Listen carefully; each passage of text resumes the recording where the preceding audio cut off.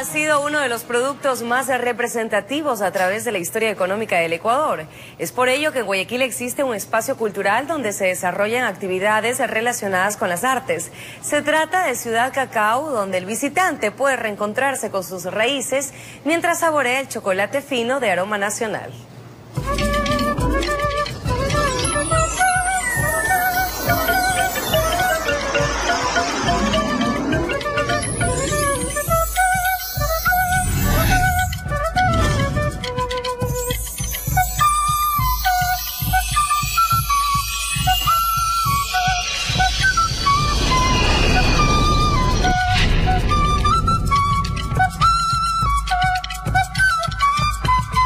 Nos encontramos en el cantón Quinindé, provincia de Esmeraldas, conociendo una propiedad donde existe una plantación de cacao. Algo muy bonito, muy importante y sobre todo un cultivo que pasa de generación en generación entre el sector campesino de nuestra zona.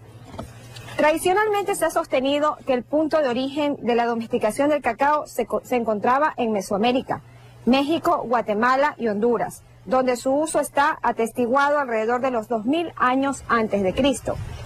No obstante, estudios recientes nos afirman lo contrario, que existió una variedad llamada Teobroma cacao, que tiene su punto de origen en la alta Amazonía y que ha sido utilizada por más de 5000 años. Esto cambia totalmente lo que nosotros conocíamos acerca del origen del cacao. La cultura del cacao es antigua. Se sabe que desde la llegada de los españoles por la costa del Pacífico ya se observaban grandes árboles de cacao que demostraban el conocimiento y la utilización que tenían en la región costera antes de la llegada de los europeos, nuestros aborígenes. Así que ustedes pues ya lo saben, el cacao cómo empezó, cómo eh, la historia pues nos demuestra bajo conocimientos y estudios científicos que existió desde mucho antes de lo que nosotros nos imaginábamos. Vamos ahí, soy campesino de mi tierra sincero, soy campesino de mi tierra sincero, con mucho cantaré